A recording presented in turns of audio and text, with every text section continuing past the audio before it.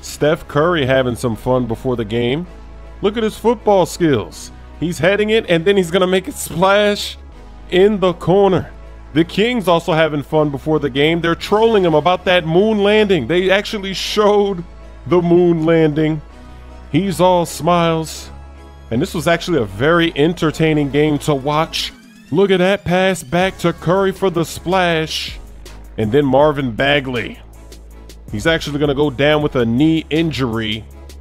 It is a knee sprain. He left the game. Didn't return. Take a look at it. Doesn't look too crazy but it definitely hurts. And we'll see what happens. He did walk off on his own. So whenever a player can walk off on their own, it's usually not that bad. It looks like the Warriors are going to run away with this one. In transition, Klay throws it down. And then Curry gets in the lane, steps it back, crossover. Oh, baby.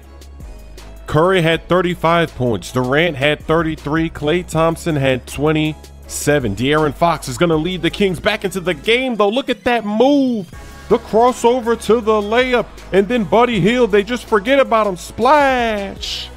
All of a sudden, it's a one point game, and the Kings are going to take the lead at home with that three from Bogdanovic. And guess what? The Kings are not done. They're going to extend this lead. They're going to continue to play great at home. They're going to kick it up ahead on the break, and Hield's going to make another layup. Contested. Crowd is going crazy. But then Kevin Durant in the clutch. Knocks down the tough shot. Then he's going to hit the defense with a spin move, go all the way to the rim. And that's an and one layup. The Kings fall apart in the clutch. They struggle to score. There goes a turnover. And the Warriors are going to go 17 to 2 in the last three minutes of this game. It's a tie game. De'Aaron Fox, he's dancing. He pulls up from mid range. He's got it. Gives the Kings the lead. Finally, they get a bucket. But then Kevin Durant. Gonna dish it to Klay, who's left open. Splash. Warriors take the lead late. The Kings have one more chance to win it at the buzzer. They give it to De'Aaron Fox.